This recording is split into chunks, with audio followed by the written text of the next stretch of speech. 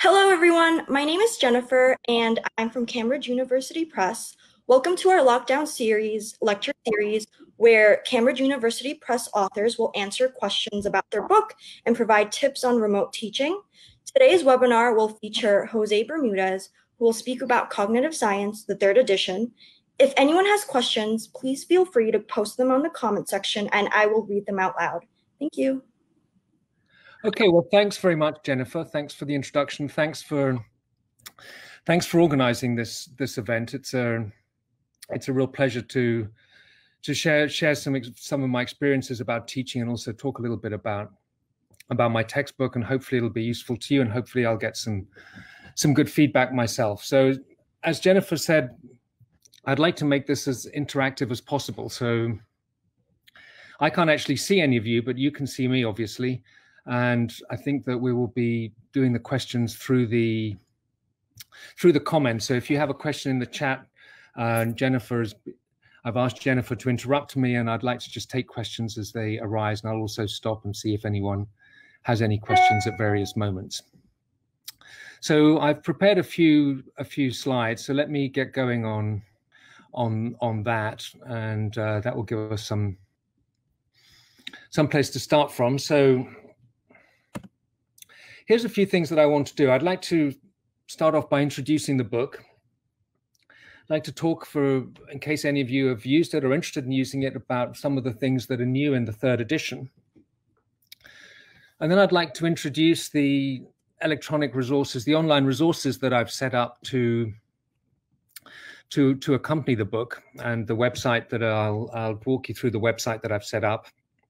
If there's anybody here who's used the book, I'd be really interested in hearing what's worked well, what's worked less well, or if you haven't used it but using another book, I'd be interested to hear what you think is good or not so good about that other book. And I've been a, we've all suddenly found ourselves teaching online of necessity, but I've been teaching online for for a few years now, and I'm a a pretty big enthusiast for an online teaching, and I teach and have taught for a while a fully online asynchronous logic course. That means there's no scheduled classes. It's all it's all um, it's all done at self-paced learning online, and I'd like to talk you through a little bit of that, and hopefully have a more general discussion about teaching cognitive science and and teaching online. And one thing that would be super for me would be to get some ideas and suggestions about the uh, that that I could use for the for the fourth edition. So here's my book. It came out in 2010 Cognitive Science An Introduction to the Science of the Mind. I did a second edition in 2014, and a third edition came out uh, earlier earlier this year.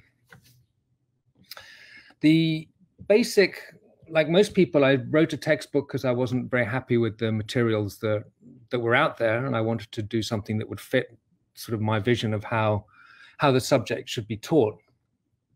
And in particular, I was looking for a textbook that wasn't written by a committee.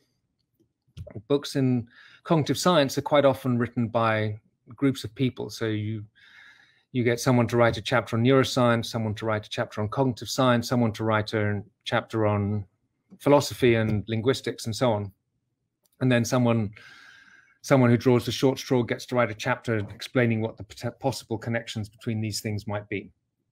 But I didn't want to I didn't want that way of approaching the subject because I was looking for something that presented cognitive science as an interdisciplinary enterprise, something that pulls disciplines together and creates something that's greater than the sum of its parts, not something that um, juxtaposes different and independent enterprises.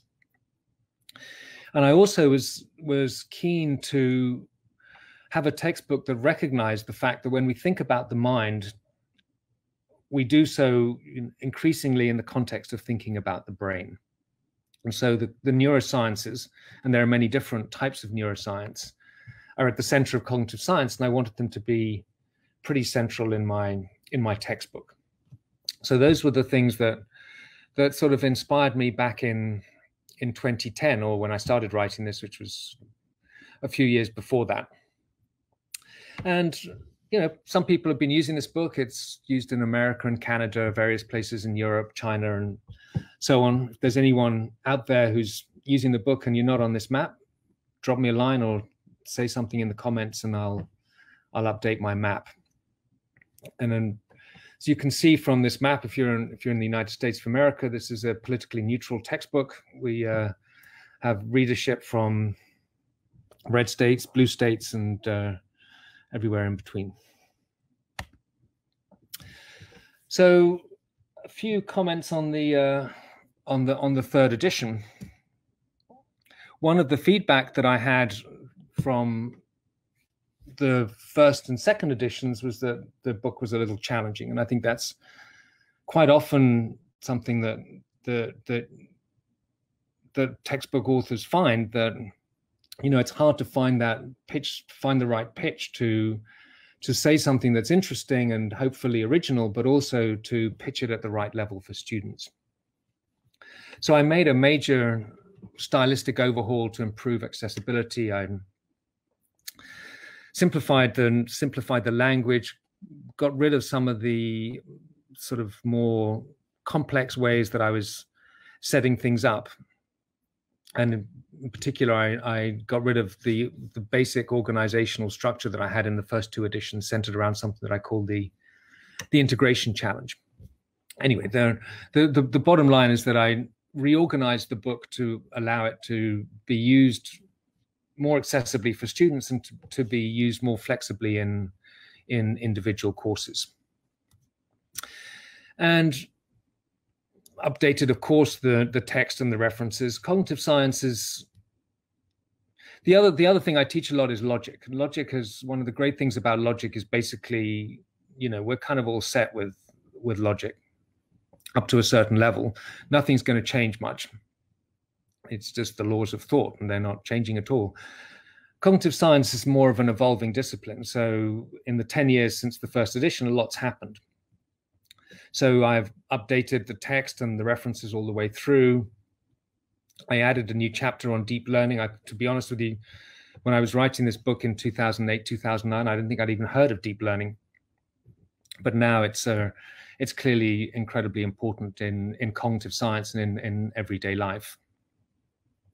And in 2008, I'd certainly heard of Bayesian approaches to cognitive science, but they weren't really as as important then as they are now. So I've added a chapter on Bayesianism in cognitive science and um, added new materials on Bayesian approaches to, to language learning.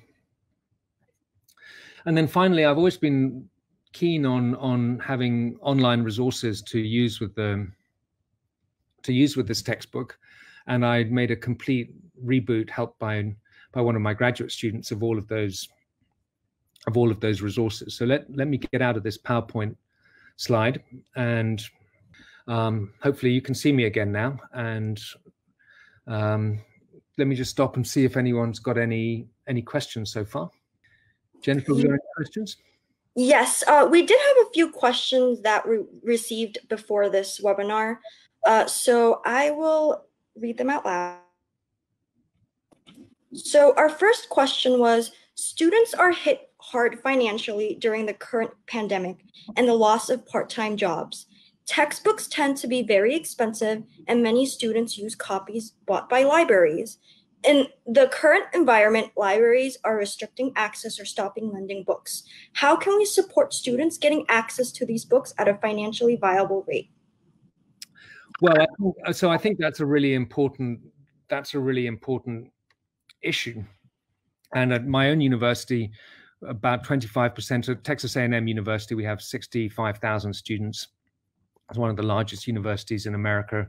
About 25% of our students are first generation in college. We have a high uh, percentage of students that that receive Pell grants. That is, their it's an indicator of of of economic a certain level of economic difficulty.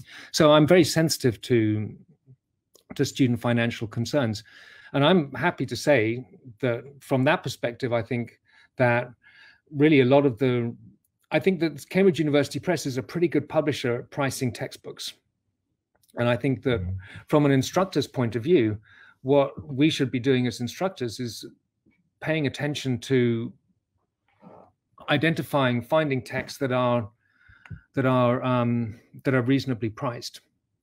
And when I looked around at text for my logic course, for example, I see some of the some of the commercial textbook publishers who will remain nameless, but you know who they are, uh, charging books at 150 or 200 dollars for for what quite frankly is a mediocre textbook. So I think that the pricing at the publisher level is is really important. And I noticed that a lot of um, presses and again CUPs doing this are developing Cambridge Core or Oxford Scholarship Online, where um, students can access online versions of text through through their libraries. And I think that's a really important in initiative as well. But if I could just give give give a little plug for CUP pricing on my book, it's it's sixty dollars for um, 488 pages, full full color. You know, I'd love it if they charge ten times the price, but I'm I'm proud that it's uh, that it's uh, available for sixty dollars a, a, copy, and I think that's a that's a good price for for an academic textbook.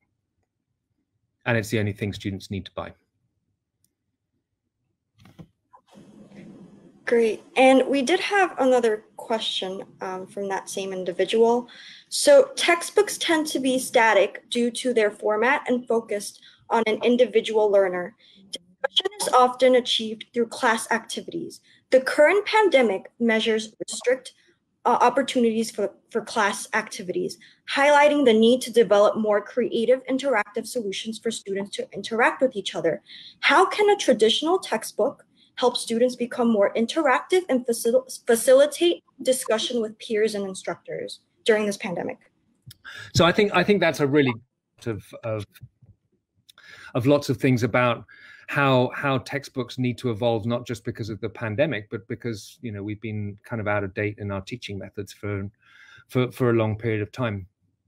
So i think that's i'm going to take that as a segue to to talking about the the online resources that I've developed for this textbook because I think that they go one of one of the ideas that I was trying to to promote was to find ways of getting students to engage more creatively with the with the material and giving giving um, instructors the resources to to do that. So if I could just share an, a different screen and go to the uh, course website.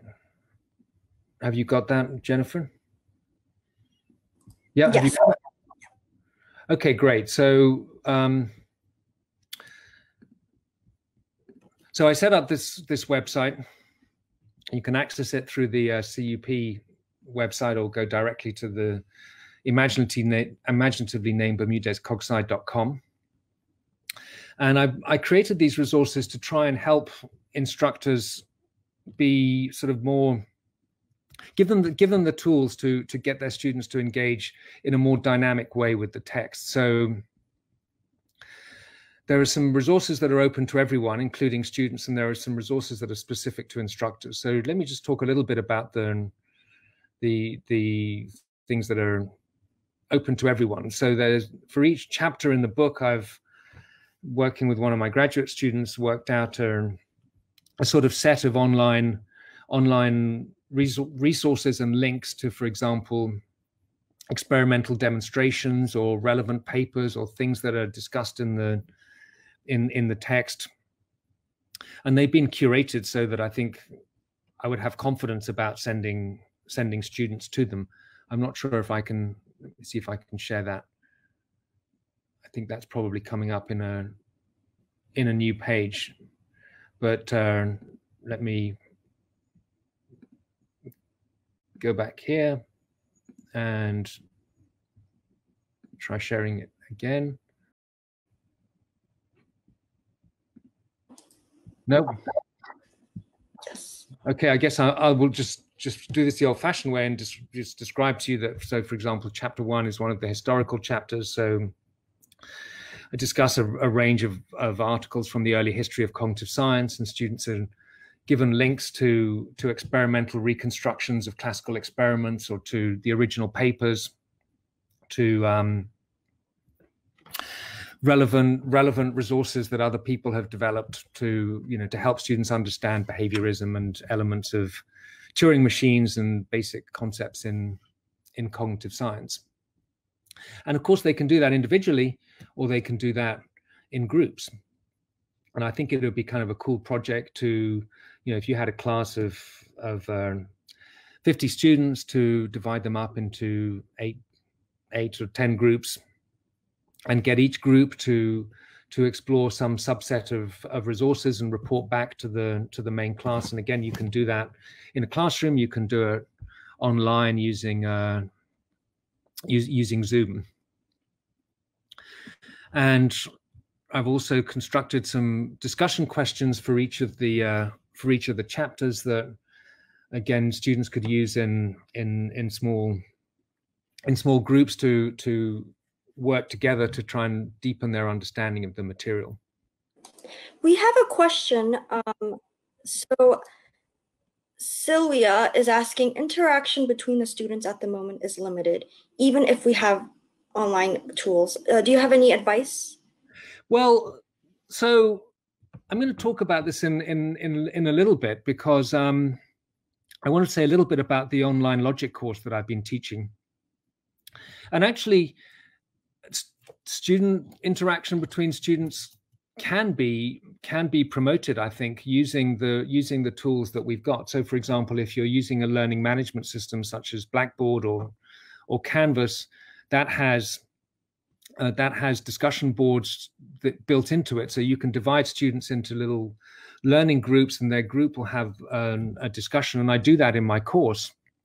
And i find that they also tend to develop um, let me stop sharing my screen so that you can see. They stop what i find is that students work together outside those formal discussion groups as well. They set up GroupMe's and they text each other and have whatsapp and stuff like that.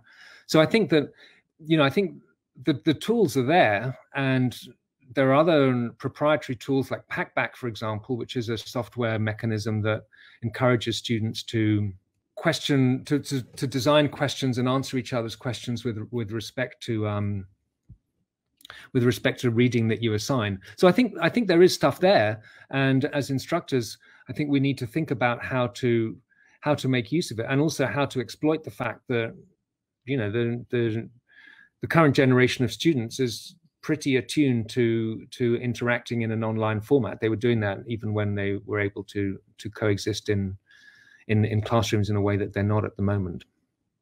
So hopefully that that helps you with that. And I want to talk a little bit more about the about about my course, and I'll take you through the the Blackboard site and stuff like that in a in a little bit. But let me just go back to these to these web resources. Great question. So keep keep them coming. Go back to this. Uh, share this website again, because I also set up for a bunch of things for instructors to use. So the the textbook has has in it um, integrated into the chapter, not at the end of each chapter, but actually as you go through it, exercises and that students can do at different ranges of, of difficulty. And to help the instructors, I've given solutions and hints to all the in-chapter exercises. This this bit of it, this bit of the website is obviously password protected. There are about 140 illustrations, full color illustrations in the book. I put PowerPoint slides on here. So again, those can be shared with students. And I've also designed review questions that can be that can be given to students, and I've designed them in a way that they can be instantly uploaded into learning management systems like Blackboard directly, or they can be um, uploaded to Respondus, which then interacts with different learning management systems. So if you use Moodle or Canvas, then you can upload into Respondus, and your university will probably have Respondus, and then it goes straight directly from Respondus into whatever the the LMS is. And I've also done test bank questions.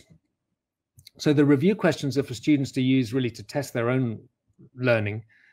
So that's something that they would do in their own time. And then the test bank questions are designed for instructors to um, to develop quizzes and to um, to to assess learning. So these are kind of the student review questions are kind of um, formative, and the test bank questions are summative. I believe that's the That's the technical terminology. So that's the that's the website. And let me stop and see if anyone anyone else has has some questions. Yes, uh, there was another question. Um, what is the solution to reduce the higher education delay and adaptation process in this lockdown situation? I know it's a little similar to the other questions, but um, if you have any other perspectives. The sorry, the to, the the adaptation of what to what? Uh, ad- adaptation to remote teaching. Oh, the adaptation to remote teaching. Yeah, I'm going to talk about that in the in the next section in the context of my online logic course and sharing some of my experiences about on online teaching. The the problem is that I think as as many people have figured out, online teaching is not that easy. are, there, are there some other questions that I could maybe tackle before before getting on to that? Uh, at the moment, no. All right, awesome. So sure that I've talked about that. Yeah. So let me say first why, let me put a positive spin on it because I think that for many people, a lot of people have a lot of negative thoughts about online teaching. And I keep reading stuff on the higher education websites and so on, and people saying, well, look, this is just an evil administrators are going to use the pandemic as a way to force us all to teach online and it's going to be disastrous for students because everyone knows that online teaching is not as good as real teaching. And actually uh, i don't agree with that and i think there's no evidence for it. And there's plenty of evidence that online teaching when it's properly done can be um, can be can be really beneficial to students. So I want to start off just by saying a little bit about why I'm a why I'm a huge fan. And one reason I think is that it allows students to work at their own pace. And I think this is an experience that that you must have had the experience if you teach large classes of say 150 students in a class that you're trying to talk to the students and you can see that a significant proportion of them are, are way ahead of you and find what you say kind of irritating, and a significant another significant proportion are way behind you and desperately struggling to catch up. And really, you're talking to a relatively small percentage of the students, which are the ones in the middle. And you have to make that decision. Do you go super slowly to scoop up the ones that are falling behind? You go super fast to stimulate the people ahead of you, or do you just sort of chug along in the middle and and really make a lot of people unhappy. And I think that's unavoidable in a typical large classroom context. And I think one of the great things about online teaching is that students can work through the material at their own at their own pace. And if they need to, they can go over, you know, there's no way you can a student can rerun the lecture, but if you've prepared a bunch of eight minute videos, they can go back over the eight minute video that you've develop for the concept that they are struggling with. And I think it it's useful. Online teaching can be useful because it imposes a lot of discipline. You can't run an online course and decide what you're going to talk about when you turn the when you turn the door handle on your way into the, the, the classroom in a way that you know many of us have done in in in the past. I think being forced to to being forced to do stuff online forces you to think about what you're look, trying to achieve over a long-term period, over a whole semester, and how you're going to get there, and what is being done at each uh, each stage in the process. And I also really like online teaching because it allows me to spend more time with students. I've just finished teaching a, a summer session on my logic class. I didn't teach in the spring, but I teach. I prefer to teach in the summer and I have 155 or started with 180, but uh, not everyone could take the pace. I had 150 students, and I was able to deal personally with all of the problems that they had about logic. I spent a lot of time zooming with them. They sent me screenshots of proofs, and I would just send them back hints. And that's stuff that I really am not able to do in a in a face-to-face class. So because I've I'm not spending time delivering material, I can spend much more time individually with with students. And I have a graduate student to help me, but the graduate student's job is to enter grades. His job is not to deal with student problems. I am a great believer that students' problems should be dealt with by people who've got more experience than graduate students. So I think that there are some massive advantages to online teaching, but there are also some massive disadvantages. And these are not pedagogical ones, they're practical ones. I mean, the, the major problem is that it's just a, a huge upfront investment in, in, in time and effort. When I did, when I prepared my logic course, and it's, it's a process, it's still going on, I scripted every, every lecture, I wrote it all out and read it out and then edited the tapes. And that took a that took a long time. And you have to design a learning pathway that's going to work for students that because you can't you're not there to fill in the gaps. I think that what people sometimes fail to realize is how much of how much how many things are taken care of just just in the run of the mill interaction in a classroom. You can answer questions you can make um, adjustments on the fly. You can change your course. You're not supposed to but you can change your course if you think the students are not following. You can't do any of that in an online course so you've got to have thought it through much more carefully at the upfront and you have to answer all the all the questions that students might have in the materials that you prepare for them. Otherwise you're going to spend your whole life answering replying to emails with the words it's in the you know explaining stuff that that you should have that you should have written down so I want to illustrate just just what what what what has worked for me, and this is just very personal. So we did have one more question. Oh. So how does cognitive science differ from other similar textbooks? From so I think great question. Um, I think that the main thing that I would point to if someone if if if I if I was asked about that, as I just have been, would be that that I've tried to write it as as an as a textbook to an interdisciplinary area.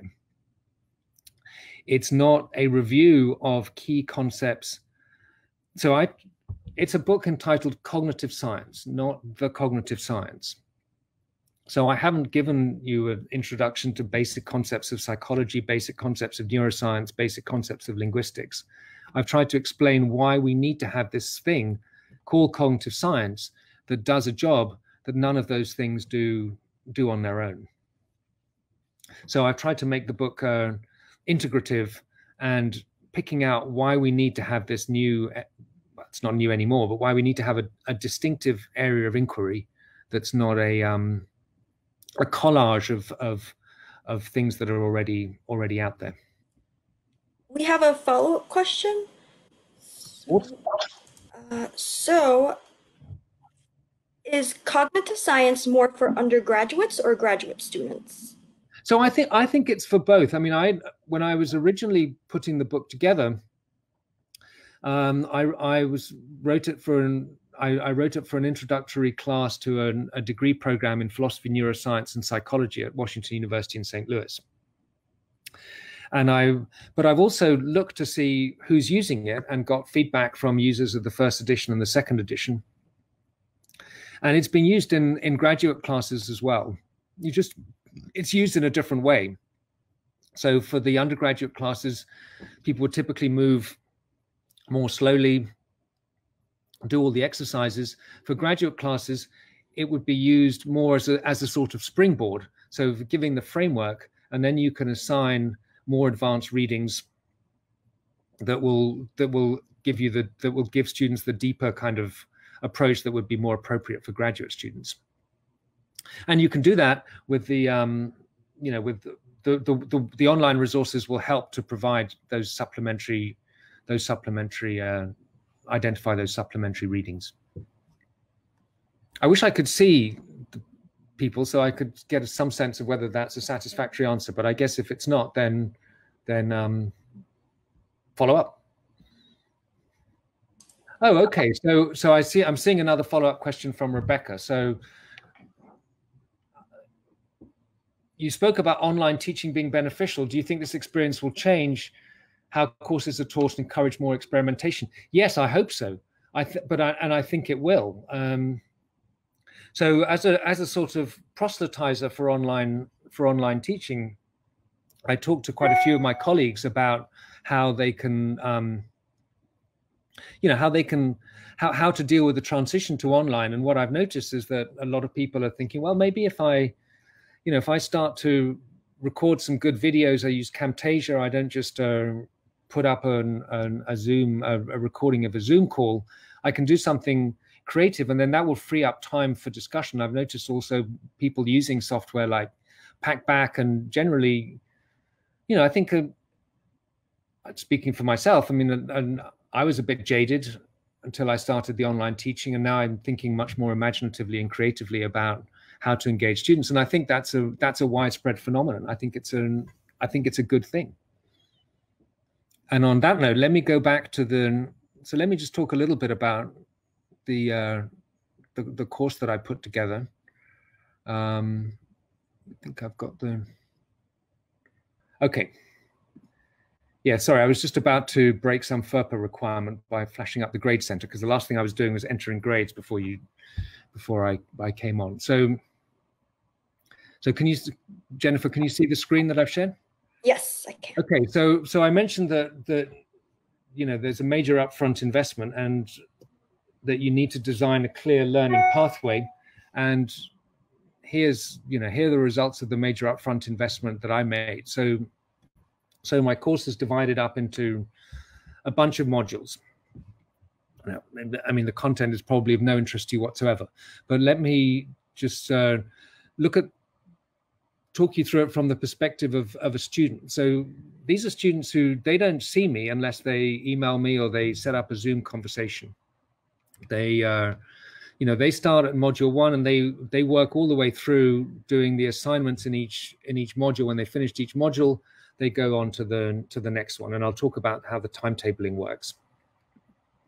But so here's a typical, a typical module. So the students come in, there's a study guide. The uh, study guide gives a brief overview of the module. It tells you what they're, tells them what they're going to learn, tells them what the videos are. I can tell you already that that video 5.1 is too long at 17 minutes, 20, 17 minutes, 29 seconds. I really think that 10 minutes is is, a, is an upper bound for an, for attention span. tells them what they're supposed to read, and tells them what the uh, what the assignments are. So after the students have been doing this for a while, they just go straight to the study guide. They see what how this is going to count towards their final grade. They do the reading, they do the exercises, they do the assignments. Assignments are all submitted online to an online proof checker, and the proof checker gives them gives them feedback on their on their exercises. So I mentioned that just simply to to sort of emphasize this idea that that um, that that it's a lot of work to design a clear learning pathway that a student can can can just follow the follow the path without having the guidance of in in in person of an in person in person classroom. And in addition to in addition to designing a clear learning pathway, you need to have a community and and a sense of, and and a contact. I mean, online doesn't mean contactless. It's just a different kind of a different kind of contact. So my students are divided up into into little discussion groups, and they're encouraged by with various uh, icebreaker assignments to to to reach out to the other people in their in their in their discussion group and and as I mentioned, the evidence is that they do that, and they, you know, they set up GroupMe's, and then they start sharing information, not sharing solutions, but sharing sharing information, sharing insights. And then I make myself super available for for for students. My my view is if I'm not delivering classroom material, I compensate for that by by basically replying to emails pretty much as soon as I get them. And this is kind of a little bit intense when I'm running an, an intensive summer session because it's only five weeks long. and they have assignments due every day of the week. And the assignments are always due at 11:59 p.m. So I answer a lot of emails late in the evening as students get back from work and get onto this. But that's all right. That's that's fine. It frees up the mornings. And then I'm available for for Zoom comments. And I think that Zoom Zoom is great because it allows you to share a screen in a much more interactive way than we're doing now. So I use software with these students and they do their proofs on software. They share their they share their screen, they work through the proof, I give them hints, help them, and it's a really efficient way of of of solving their solving their problems. And one other thing I did want to mention on this subject is keeping students on track. So let me get out of here. So they have 26 modules. And the problem with logic is it's kind of builds on itself. So, you know, you if you get behind, you're never going to catch up. So I have about a hundred assignments that they do in each course. Some of them, you know, not all of these are super difficult. Some of them are little quizzes. But there's a pretty rigid timetable. And each assignment has a recommended date and a due date. And if the day, if the student hasn't completed it by the recommended date, then they get an email saying, "Hey, you haven't finished this assignment, and the due date is that's usually tomorrow, in in this summer session." So they have no, you know, they they're constantly they're constantly have the, have the reminder of the of the structure of the structure of the course, and it keeps them on track. And they find the emails really irritating, and that's fine because then the way to make the emails go away is to do the stuff by the recommended completion date, and then they'll also be more successful, more successful in the course. And again, if you use Blackboard or or a similar learning management system, then then the students will automatically get reminders of assignments. So this is just yet another layer of, of reminder. And I think my experience of online teaching is that you really need redundancy is a really good thing. So you can't assume that giving the one piece of information on one occasion is sufficient. You need to find multiple different ways of presenting the same the same information. Uh, yeah, and let me stop see if anyone's got any questions about online teaching. I'm surprised that no one has sort of torn into me on my saying that online teaching can be beneficial rather than the end of the universe. Nothing at the moment, Jennifer? Uh, no, not at the moment. All right, awesome. So a final thing I did want to talk about was um, how to test students and how to run exams in an online format because this is this is this is a real this is a problem but it's a problem that i think has a number of has a number of solutions so i used to use a, a an online proctoring service called examity which is kind of expensive but it was neat. So one thing about online teaching is that you can't you don't have any time so you can't say the exam has to be taken on monday from 4 to 6 you have to give students like a 12 hour window to take the take the exam and then you've got to deal with with issues of of, of academic integrity. So i used to do and use an online well first i design tests that so that no student will ever receive the same test so the midterm exam for my course, there each question is from a, a, pool of 10 questions. So there are 10 to the power of 14 possible different exams out there. So no amount of consultation is going to is going to help. It's a huge upfront cost because you have to design 10 questions of roughly comparable difficulty testing the same the same the same thing. But once you've done that, it runs pretty smoothly. And then you need to find a way that the students can take the exam without being tempted to do anything that compromises academic integrity. So I used to use this online proctoring service called Examity, and they would dial into a, a website, and there'd be a proctor at the end of it, typically located in um, in Southeast Asia, and the proctor would go through there, identify them, and give them the instructions for the exam, and review the their environment through the webcam in the in the in their computer screen, and so on.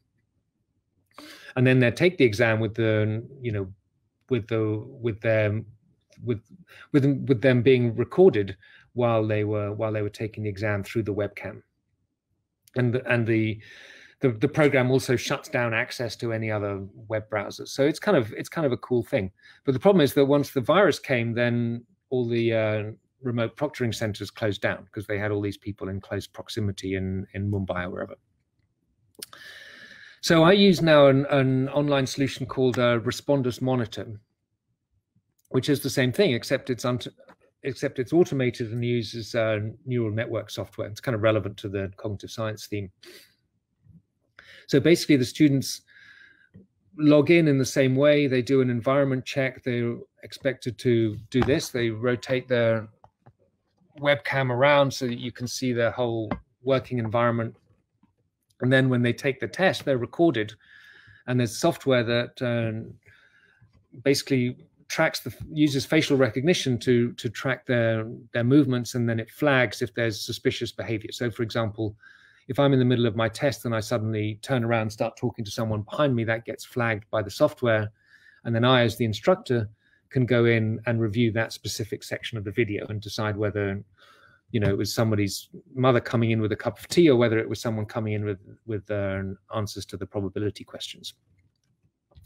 So i find that works that works pretty well. The combination of having super complicated exams that you never have the same one twice and then having this um, online online um, online proctoring proctoring solution. Um, so yeah that's the that's the that's the final piece of the of the online teaching. I don't know whether that's hopefully that's helpful to some people. It took me a while to figure it all out and i was kind of concerned that i was going to have to stop my course when the proctoring centers all closed down but it turns out that there's a pretty good solution out there and your university may well have access to to lockdown browser jennifer is there anything is there anything out there um, at the moment, my, pretty much the, the end of the things that I wanted to say. I may have got rid of my audience, but uh, at the moment, no, we don't have any more questions. Um, I thought that was a really good discussion and overview of everything.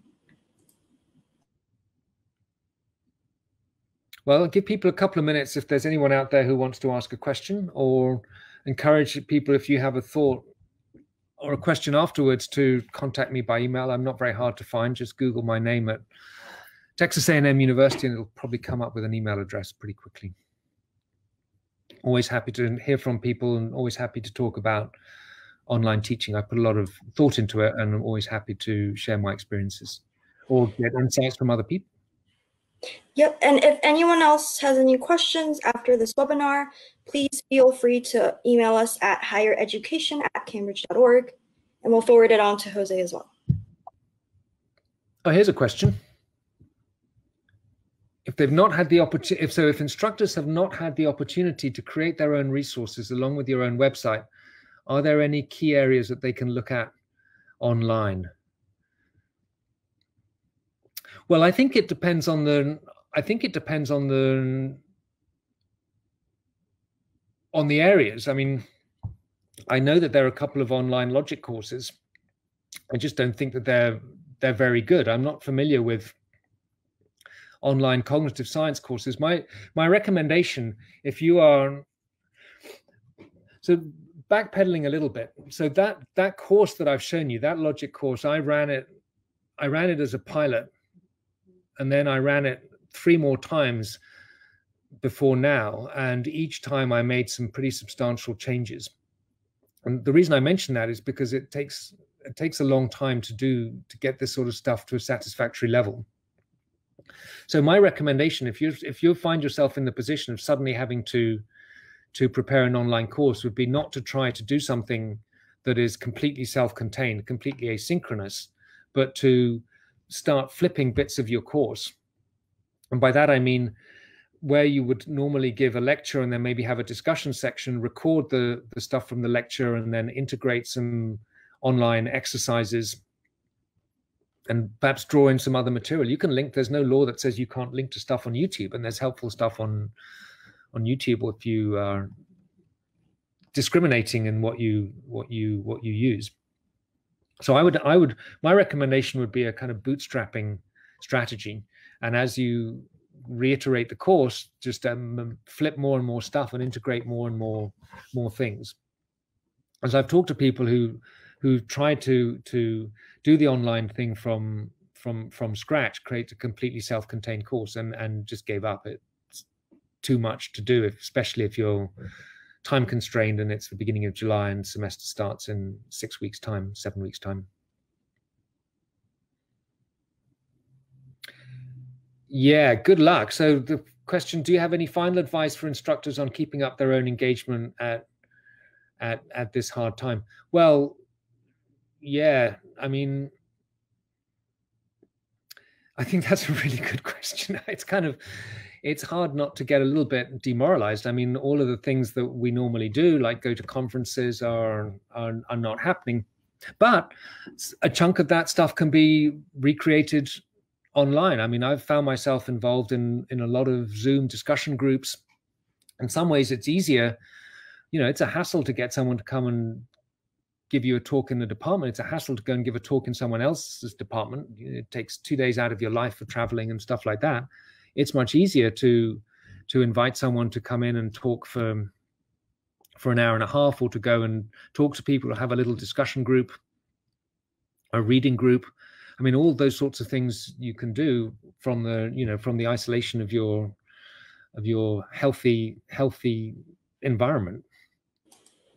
I think sometimes there are some positives. There, I think there are some positives here that that it's important to to pick up on, and pro i mean i know that the you know when i get a bit dispirited i think that that i have it a lot easier than many of my students who are trying to work and trying to work in environments where people are not respecting their public health obligations and you know where they have no option about what they're going to do and they're dealing with unpleasant rude people and then they go home to a crowded house, and I think that my life is a lot easier than that. So sometimes it's, I find it helpful to reflect on some of the, the difficulties that some of our students are having.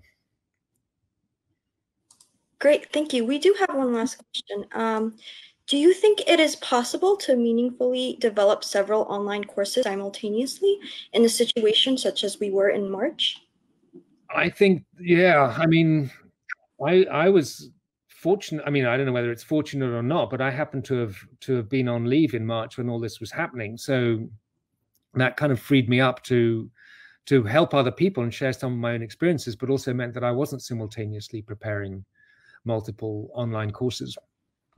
So i think i mean i think it's really hard. And and the best advice that i've got is is is kind of the advice i've already given is to do things incrementally. And bear in mind that that your students are going to cut you some slack. And especially they will cut you slack if you make if you make yourself available outside outside of the official classroom context. And make it clear that you don't see the online format as one that that is impersonal in any in any shape or form. And i think another thing to remember is that students themselves at, at the moment are are often pretty isolated I mean, that's alarmingly large numbers of my class of 150 students are in quarantine or already virused up in, in one form or another.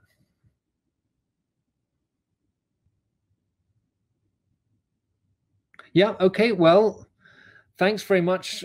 I've really enjoyed uh, talking on uh, great, some great questions and some great discussion. So um, hopefully that's given you some things to think about and certainly given me some things to think about. So thanks again to Jennifer and the and the folks at CUP for for organizing this.